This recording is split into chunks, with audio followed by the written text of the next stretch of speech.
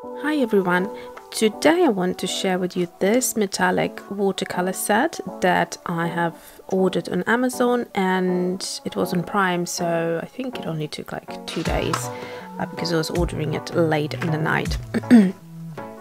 so the main reason why I ordered this set was because of these two colors especially this one. So this is their rose gold, which is a very unique color to find um, in, in other brands. So what I will do today is I will uh, switch them out and also um, compare a couple of colors to the Finetec. So the first ever watercolor set that is metallic that I've ordered um, is this one. So this is the six gold colors. One of them is actually silver. And um, the, the names are Tibet Gold, Inca Gold, Arabic Gold, Gold Pearl, Moon Gold, and Sterling Gold. So they're very beautiful, very high quality. These are handmade and you can remove them like that and replace them. You can so that's that. Now looking at these colors um, the only one without obviously swatching but just looking at the pigment kind of thing is this one that sort of looks similar to it. Let me show you a close-up. So that's a potential similar color and that would be the gold pearl. Now i'm really interested in seeing whether as a swatch it would look the same or not. So we'll do that one. And from this palette, which is unfortunately the only thing that it says here is that it's M1200 and I think this one is M600 Coliro and this is Finetec. Here is the thing, um, this is a smaller palette as you can see, the pigment is probably, it's hard to say exactly but it looks like half size of the pans and you cannot replace these ones. So there are part, the plastic is part of the palette. And once you're done with this little um, cake, I guess that is it really. Mm. the one color that i am interested in swatching from this palette would be this one. Okay so let's start with the packaging first. So this is how it comes. It comes in a it's very lightweight.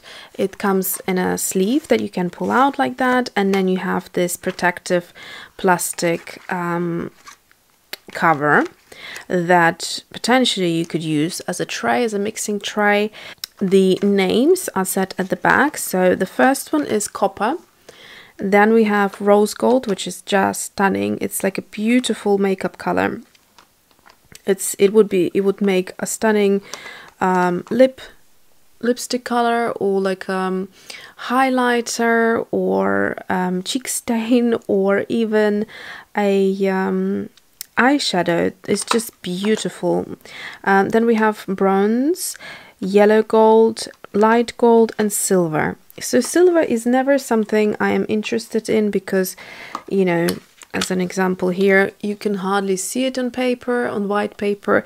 It would be great to add as an accent as an accent on maybe darker watercolor uh, illustration or dark paper but personally it's no use for me because it's something I don't do. So that's the color I care least about. But these are gorgeous. And to be honest with you I knew that these were the two main colors that I was um, interested interested in when ordering and I thought these might be very similar to what I already have but actually um, no. So they are not. Um, this color is very unique the bronze.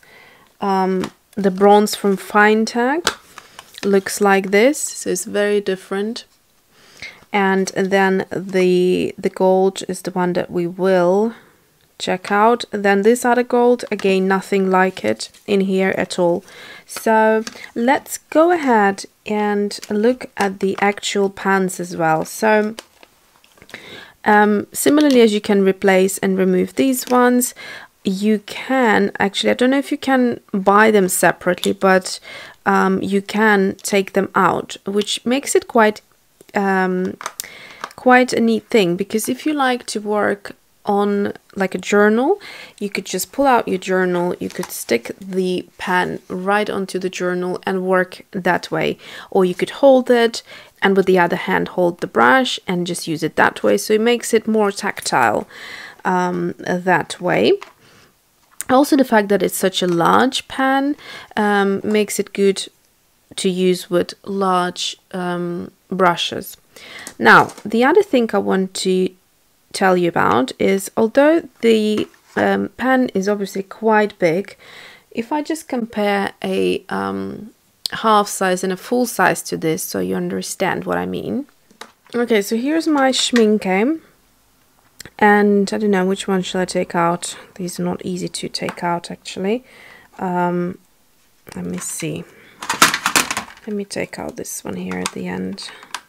Okay, so I've got a half pan here. If I hold it next to it, you can see how tiny it is. So, but here is the thing. So the height is like that, comparing the two together.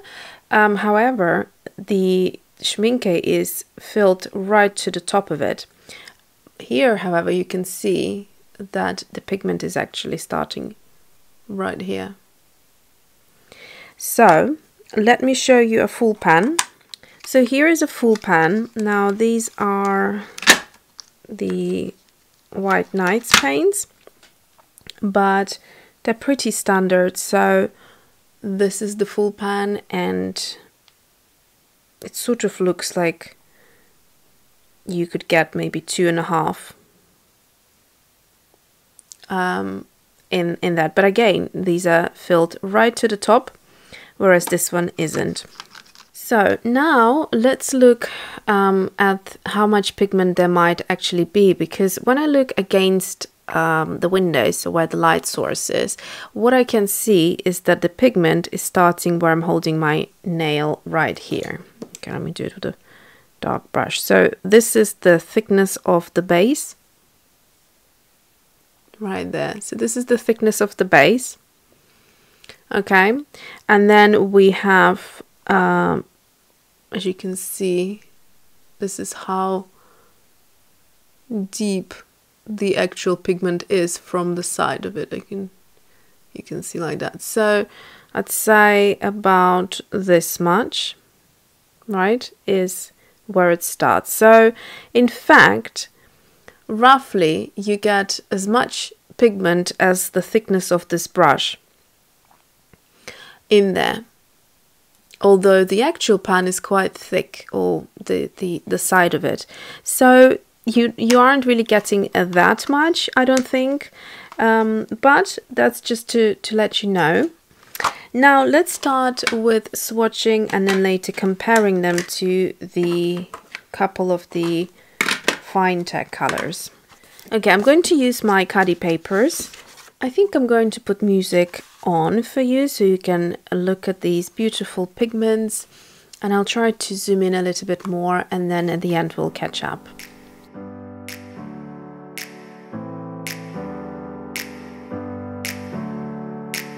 Never up, never down, never Like a theme in a song, clever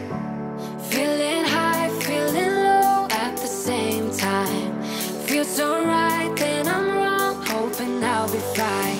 But I get up, I always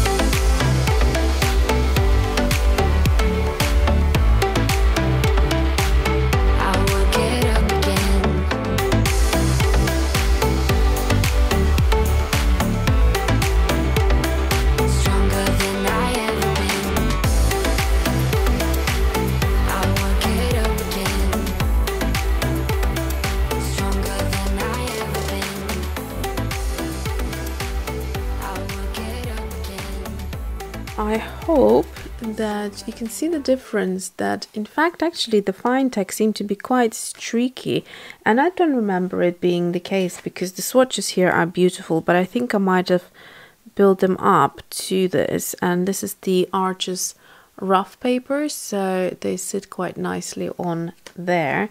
Now let me try while this still has some water and it has dried up a little bit more so it's going to grab more of this pigment and just go over it. I'm not sure if it's something to do with the paper but it's just not looking great um, at all. So here is the swatch I've done for the swatch card. This is the gold pearl.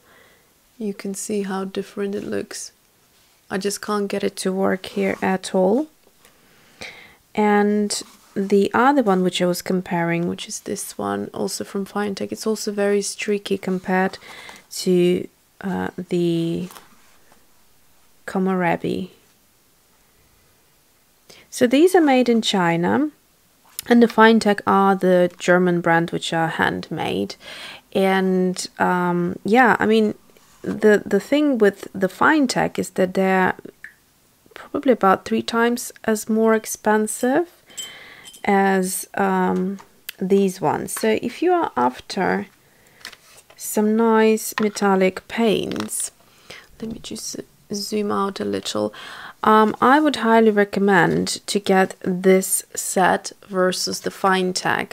I love my Finetec um, on other papers, not this one. I haven't actually used it on, on the Khadi paper. But on other papers that are cold pressed, it, they look really beautiful. It's the light gold, yellow gold and bronze sort of not really gold but you know beautiful color. And then you get the rose gold and a copper with it as well. So you have enough metallics and silver of course if you're interested. You have enough metallics to work with whereas this is a very specific palette of six. It has a nice um, variety of golds. Um, undoubtedly so and they're gorgeous especially the moon glow is very beautiful arabic gold they're all very unique and but here's the thing if you're on budget i would highly recommend this one purely because they have a fantastic um, pigment payoff and you could see how easily they were rewettable Finetec take a little bit longer to rewet and you have to work your brush in. However these ones i just sprayed them once and literally gave them a few seconds and they were smooth as butter and quite pretty. So yes I'm very happy about these and the way the the way I discovered them was I was binge watching some YouTube videos about metallic watercolors and someone was I don't remember now doing a comparison and these really stood out to me not only because of these two colors but for for their pigmentation and their price. So I think I'm not entirely sure these were 30 plus um, pounds. And these cost me just about 10 or 11 quid something like that. And yeah really really happy about the quality of them. And um, they are gorgeous. So the difference here with the Finetec that cranberry color that I was comparing so this one right here it's um it's kind of um, it has sort of more metallic in there. I hope you can see, but it is tricky. So this one does not have as much metallic, but it's less tricky. This is probably the least, um, the copper is the least metallic kind of shimmer. The rest are a lot more shimmery. So if I do this, you can see they're sort of glistening. So that is that. Um, I might do a very quick illustration if I have time for a separate video where um, I'm going to use these different colors. So yes thanks for watching and see you soon